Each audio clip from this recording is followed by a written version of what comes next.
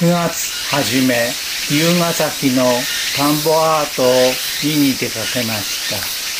ほぼ出来上がっていましたがアートの説明や案内があるともっと良いと感じました。